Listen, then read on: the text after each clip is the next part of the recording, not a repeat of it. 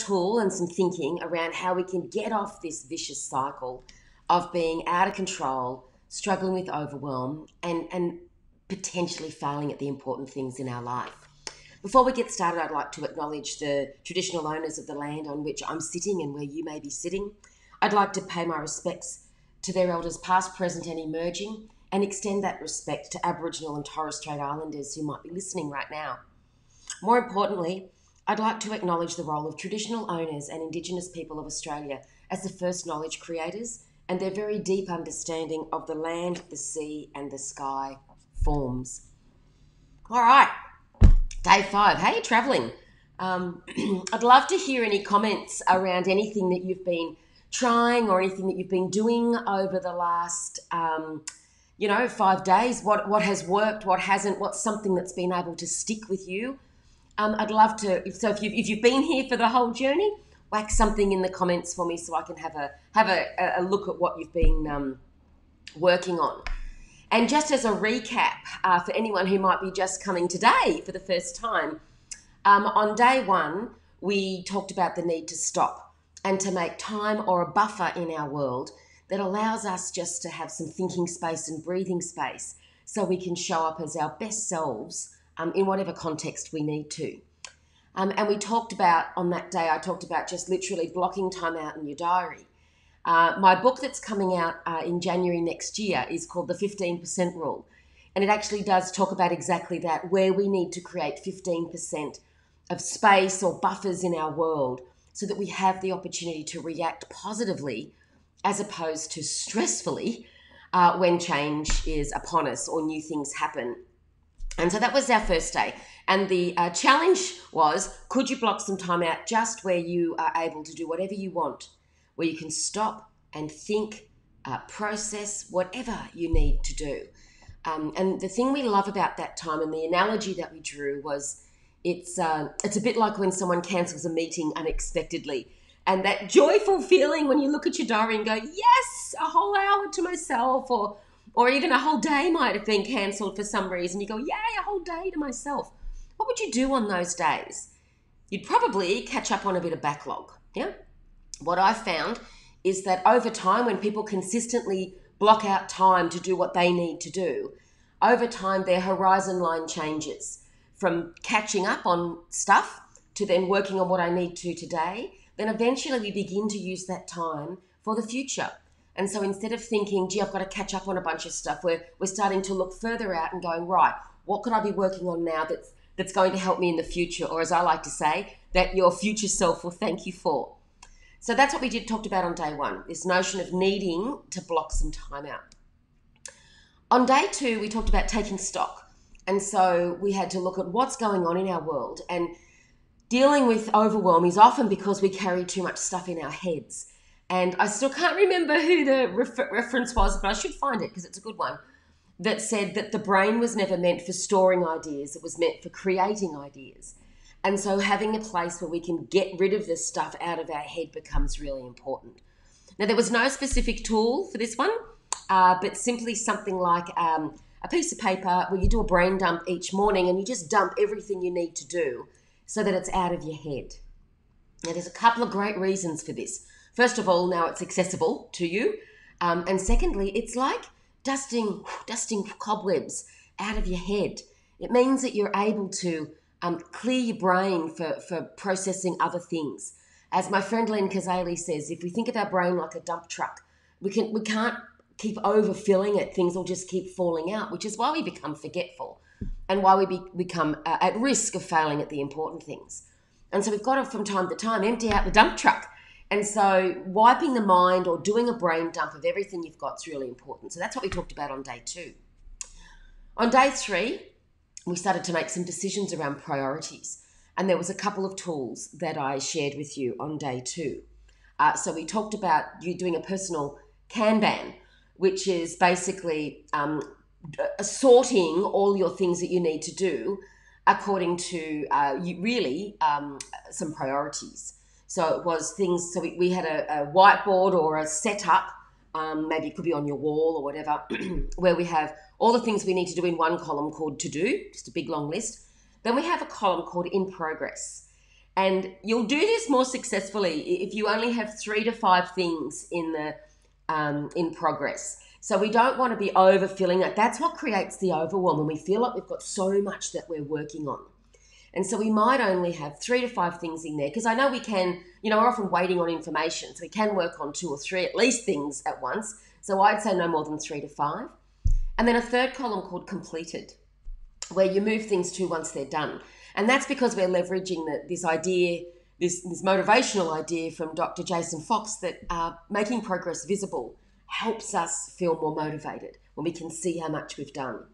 Now, I'm going to just add a little bit to that today because I think sometimes our to do that it's overwhelming that there's so much in there. So I'd love you to have columns maybe before that that are to do, but not for another three months or another six months.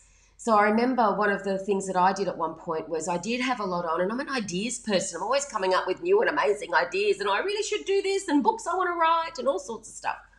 And so I set up myself a spreadsheet, a, a planner over quarters. And anytime I had an idea, I would move it to a quarter where there was space. And that meant, for, for example, the book that I'm writing right now, that had been put off for about 12 months because I had other things that I needed to do. And now it's hit the quarter for that book. And so spreading things out over time can be really useful. And I also think for those of you who work in organizations, it's a great conversation to have with your uh, manager or leader around here's all the stuff we've got going on. I think we need to schedule when this stuff happens so people can keep on track of things rather than having this massive pile of things we want to do. So that was one of the tools, thinking using Kanban uh, methodology. And the other tool I talked about was me or not me, which was really delegation in disguise, just quietly. Um, and so, really, it is in any of those tasks that are in your to do list can someone else, does it have to be you or could it be not you? Um, could someone else be doing those? And so there were some tools in there around identifying um, or, what tool, what um, task should be mine. Things like, um, you know, if it's a leadership thing, it's very strategic, it has to be you.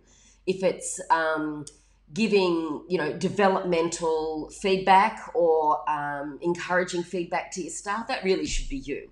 But things that are repetitive, that are done over and over again, report writing, even attending regular WIP meetings, they could be some of the things you could get other people to do for you.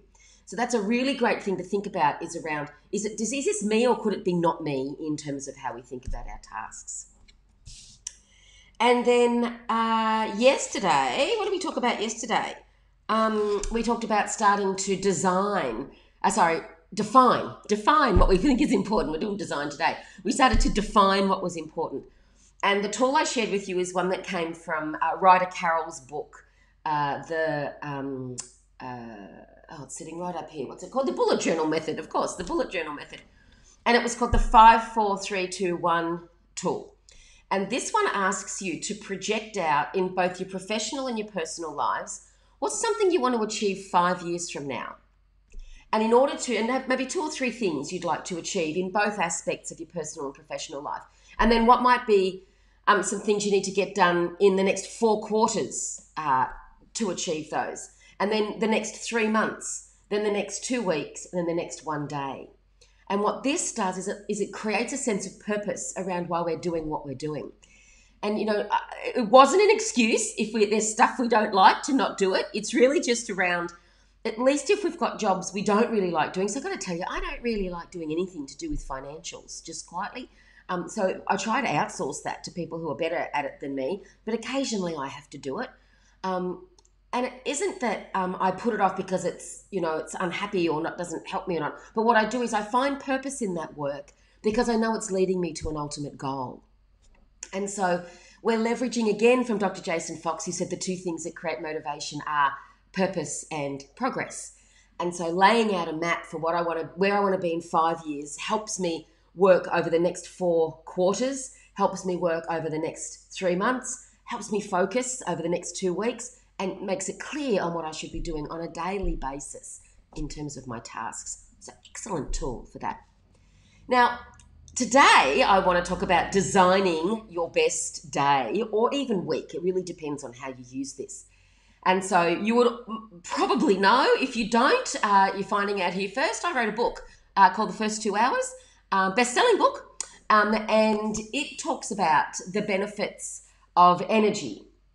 And so, how we um, really, in a nutshell, it's more about when we do things rather than what we do.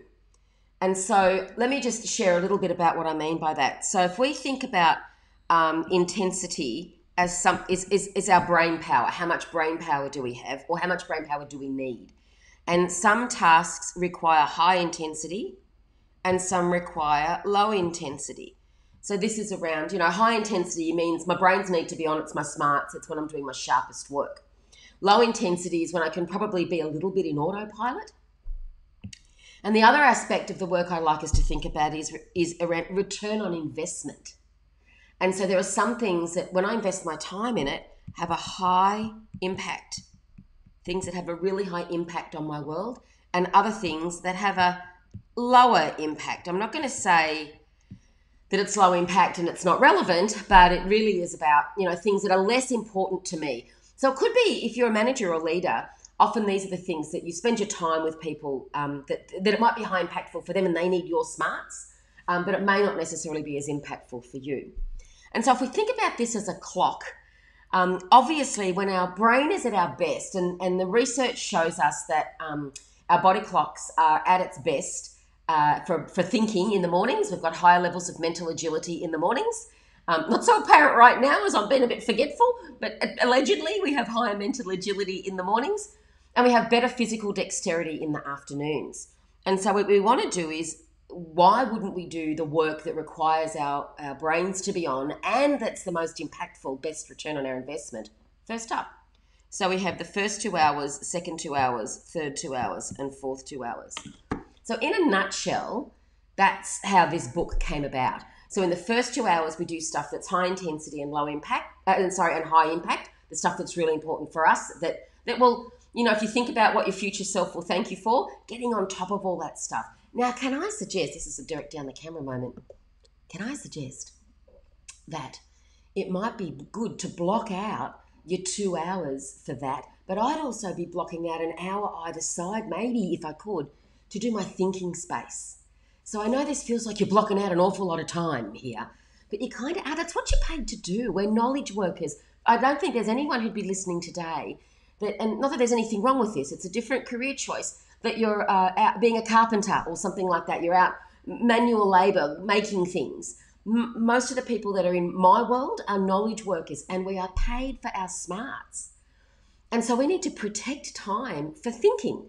And so, whether that's creating space to just wipe the mind, creating space, for, which is the best time of day for us to do some really great thinking and, and get on top of the really important things, before we then dive into the rest of the day. So I do know people that set aside the first two hours from about 7 a.m. to 9 a.m. for them to do their stuff, their thinking, their, their best work, so that then from 9 o'clock, when the rest of the world clocks on, they are able to respond to them. I don't mind how you do this, and I'm not going to be the first two hours police. You can figure out the best way for you to do that. But what I'm really wanting to say is, I want you to be thoughtful and mindful and design your days. So we start our days with our most important work that requires um, brains, brain power. Excuse me. Still got a bit of a cough. Unattractive. Sorry. Uh, the stuff that requires our, our best thinking, and then uh, that has the best return on our investment. Then the second two hours, our brain's still on because it's still the morning. Let's say it's from about 11 or 10 till 12 or 11 till 1, uh, we're able to give our thinking our best stuff, our genius, we're able to share that with others. So that's when you do do meetings with your team, your staff, etc. The third two hours is typically after lunch, and we do have an energetic lull at that time. So, really good to do any process work. So, I suggest this is the time where you do tidy up your inbox or go for a walk or do the kinds of repetitive routine stuff that if you haven't yet uh, given it to someone else to do see previous um, me or not me um, tool that you're um, yeah that's the time when you would do that. Uh, the thing that i find about the third two hours is a lot of people waste that time because they're trying to do things that need a bit of brain power and they end up making mistakes uh, doing it over and over again or having that feeling of you know when you're tired and you're trying to read something and you end up reading the same paragraph over and over and over because your brain's just not on for that. So you've got to do the kind of things in the third two hours. It doesn't really need your smarts to be switched on. And then the fourth two hours, which is actually my favorite, and I think this is the place to start. If you're already in a place of overwhelm, this is the place where it's high impact, so it can have a big impact in terms of time, but it doesn't need a lot of brain power. So, what I do in the last two hours of the day, or the fourth two hours, or at the very least, I try and do an hour of power at the end of each day, where I wrap up everything that I've done, just a big, quick review. How have I gone today? Have I got the things that I wanted to do? Think about the things that I want to get done in the two hours the next day. So, you know, flip over the page and start my next day's to dos. And it always starts with the things that are going to be my high impact um, and high intensity tasks. And then I'll have a few others that I'll spread throughout the other parts of the day. Then I'll think about things like what am I going to wear tomorrow? What am I going to eat tomorrow? What are some of the things that I can make decisions about now that'll just clear up space tomorrow morning? And remember, your future self will thank you. So when you get up in the morning, you've already got your wardrobe sorted. You don't have to think about that. You've already got your breakfast thought about. If you're traveling somewhere, if you're out of lockdown and you're traveling somewhere, you've got your route already um, planned out. You've already the night before looked at the meetings uh, that you have the next day and you've done whatever prep you can do. But here's the really good thing what you've also done is popped into your unconscious mind the meetings you have the next day, and it'll begin to unconsciously prepare for that. So if you already think about here's the three meetings, here's the things I need to have my smarts switched on for tomorrow, it'll start processing that in your unconscious for you as you sleep. And so these are the reasons why this fourth two hours is actually my favorite. And I know I wrote the book the first two hours, but it's the fourth two hours that I think is where we start in circuit breaking, uh, getting off a busyness wagon. So I'm going to suggest to you that um, because you've already missed your although you, you could be now I'm part of your first two hours today, but I'm going to suggest to you do your day today as best you can, and then at about four o'clock this afternoon, stop. Take stock of what you're doing review your Kanban of where what needs to be done and by who, and think about um, what are the tasks you need to do tomorrow and over the next two weeks, and categorize them according to uh, intensity and um, impact. Now, the, the good thing about doing it in terms of intensity and impact is we don't get caught up by the urgency so, with whilst I love, and we all stand on the shoulders, all of us who work in productivity stand on the shoulders of the late great Stephen Covey.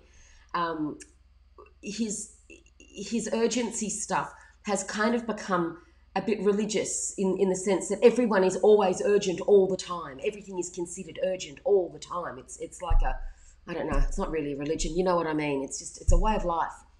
But when we think about um, intensity what's going to require a bit of brain power for me means that I'm going to work at the time and get the things done in the time that is uh, that is it's a bit more powerful. And it means urgent things that could be small but urgent, but don't require much brain power but urgent, can be done later in the day.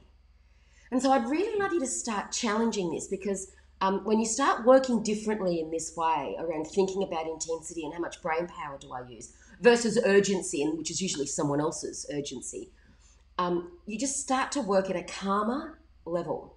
And that's what I want for everyone. I want everyone to work in an effortless, frictionless way. So the tool I'm sharing with you today uh, gives you that. In fact, normally, normally people would pay a lot of money to get hold of the first two hours productivity system, which basically kind of talks about everything I'm doing here. It has um, it has uh, habit trackers, which is the tool you got first up. It has planners at the beginning around thinking about what you want to do and the things that create the most impact for you. And it also has um, what I call your. I use these. So some people use them over a day. I use them over a week. So I set up my my week according to um, what has to happen. What are the, the things I want to do in the first two hours this week here, and things that go into all the other ones as well. Now, what I like about this, it's rare that I have downtime. Rare. And I reckon it's rare that anyone has 100% downtime. In that, you've absolutely got nothing to do. It's, it's rare that anyone would sit at their desk and go, wow, I've completely caught up on everything. I have nothing to do. Um, but every now and then, I will catch myself in a moment like, right, what, what am I meant to be doing next? What, what should I be doing next? And I look down, and if I've done that planning for the week, I check the clock, what time is it? And I have a look and see what are the things that are in the time zone that I should be doing. And that's easy. And then I just do those. And so it helps me because, again, don't forget, I've taken everything out of my brain. I don't have to remember what it is I'm meant to be doing next because I either have it written down um, or I've got a big long list. I've wiped the mind. If you don't want to be highly structured in that way, you just wipe your mind with a list of things. But I have all that stuff out of my head. It's okay not to remember what I'm meant to be doing next. I think that's a great place to be because it means you've captured it effectively in your in your notes pages. So the tool that you get today, whoops, that's not the one. That's the one. the tool that you get today are the, the, uh, the, the what I think are the important pages from this book or from this journal. So you're going to get a, a page that's called Start the Week Off Right. And it's like, what are the three big things you really want to get done this week? And then what are some habits you want to track this week? So for me, I sometimes put things in here like, I want to make sure I go for a 20 minute walk every day. I want to make sure I'm drinking, you know, three or four liters of um, water every day, and I want to just habit track that. And if you want to use um, your, your habit tracker that you got on day one, that would be useful for that. So you get that page. Then you get um, the spread for the week, which gives you the um, the whole two weeks on a spread, and then you get a notes page at the end. Uh, and the notes page at the end is, is just useful if you need to jot things down. For me, I often use that when I'm preparing for a meeting or taking notes for a meeting. But the thing at the bottom is really useful. I like to give myself a weekly score. Yeah, maybe I'm just a score kind of gal. I like to give myself a score at the end. How did my week go? Was it a was it a ten out of ten week? I got everything done that I hoped. It was super productive. I'm buzzed and I'm feeling really energized. That gets me a ten out of ten. Um, I might get an eight out of ten if I got a lot of stuff done, but I'm feeling tired. I got a little bit caught up in some of the weeds at some point, so I don't feel as energized. Um, this week, I'd probably give myself, gosh, on the one hand, I want to give myself a 10 out of 10 because I've managed to drag myself out of bed and do my do my lives and do a few webinars this week, despite being a bit laid up with a with a, with a head cold. And you'll be pleased to know I've got my COVID test back and I'm all clear. It's just a, um, a virus, just a non non COVID virus. Um, so I'd probably give myself a two out of ten in terms of the energy I'm feeling, but I'm going to give myself a ten because I bloody showed up every day doing the doing the thing. So I reckon uh, that that's a, a, worthwhile score for me. So that's the tools for today. I'm, I'm just going to come back to you now fully on the screen and say this has been a bit of a mini example of the work that I do uh, with individuals and teams in in organisations. I help them get off the cycles where they feel like they're, you know, like a like a hamster in a wheel. And I'm expanding this challenge towards the end of July. We're kicking off on the 27th of July. And we're going to do a six week habit builder challenge. And this is where we're going to spend six weeks because I uh, know people say it takes about 21 days to make or break a habit. And I'm going to say yay to that. And I'm going to say, in the busyness of our world, I think when those kind of statistics were created, and, and that's, a, that's a long time ago, that's back in the 60s that people were talking about 21 days to make and break a habit. Um, and anyone who has tried to make consistent habits, you'll probably find it does take a bit longer than 21 days. And given the um, probably the, the breadth of the work that we do, we can't focus on one thing for 21 days because that's just the way life is. So, over six weeks, we're going to choose two or three habits we want to get into. I'm going to be sharing with you other productivity tools and how to build habits and draw and curate information for you around what creates, what we need to do to create good habits. And we're going to set ourselves up so that at the end of six weeks, we are, look, will we solve every problem in the world in six weeks? I'm not sure. I mean, I'm curious to find out. Um, but certainly we'll be on track to having life and work by design, where we're doing work in the way that we feel like we're under control, where we've got our life in a place where we're not overwhelmed and feeling like we're being pulled from pillar to post, where everyone wants a piece of me, and that we're, we're not at risk of failing at the important things. Because here's the thing that I worry about for lots of us who are on this cycle is that we're we're not yet failing at things that we know of. Um, but I do worry at some point that if we're not getting a few things sorted out and getting our ducks in a row, our health may suffer. Our um, you know, our kids may not feel like they're getting the best of us. Our partners may not feel like they're getting the best of us. Um, even the hobbies that we do, even like our, our true inner self doesn't feel like it's getting the best of us. Um, and that's what I call when I say failing at the important things. We've got to start just getting on top of those things. So it's been my absolute pleasure spending these few weeks with you. I'll be posting about the 27th, um, the kicking off with the um, the habit builder. If you would like to know more about it, just put a comment in the comments. Please tell me more, um, and I'll be uh, and I'll respond to that. I'll be going back to having a look at who's viewed it, and I'll be reaching out to a few of you anyway about this. Uh, who, who, people who've been on for the week, and it'll be all over my socials. Um, and so, looking forward to welcoming you if you want to come to the the habit tracker, um, or sorry, the habit builder uh, uh, six week challenge, and um, I'll see you then. In the meantime, uh, take care and continue to use all these tools so that you're able to get off that wagon and get onto a really positive, productive cycle. See you.